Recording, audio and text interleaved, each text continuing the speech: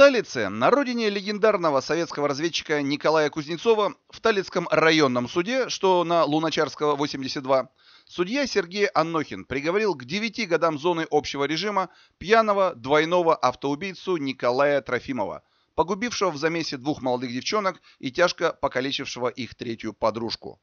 Декорация такая. Дело было 2 мая текущего года, в воскресенье, в разгар майских праздников в селе Будка, на родине первого президента России Бориса Ельцина.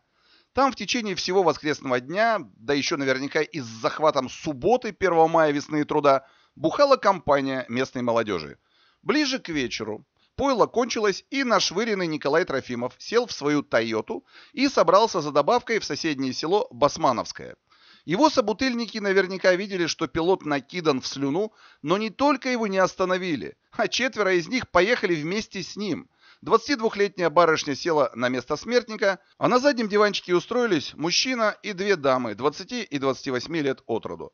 До Басмановского они успешно доехали. И более того, успели до закрытия магаза, пойло закупили и двинулись обратно в будку.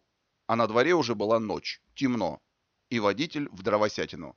И опять-таки Трофимова никто не остановил. Он разогнался под сотку, на темной трассе не справился с рулем, и на перекрестке неравнозначных дорог Тойота улетела в кювет. Как видно по последствиям, в кювете она кувыркалась по вдоль продольной оси, обламывая себе лапы и в итоге напоролась на бетонный элемент водоотводной трубы и встала. При этом коловращении две барышни 20 и 22 лет от роду погибли мгновенно.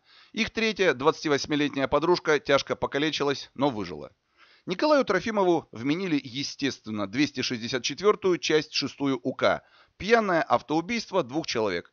Это в пиковом случае до 15 лет зоны. Ну, а если по минимуму, Вилка предполагает 8 лет неволи. Талицкий судья Сергей Анохин, как уже говорилось в начале, выписал Бухому, двойному автоубийце, 9 лет общего режима.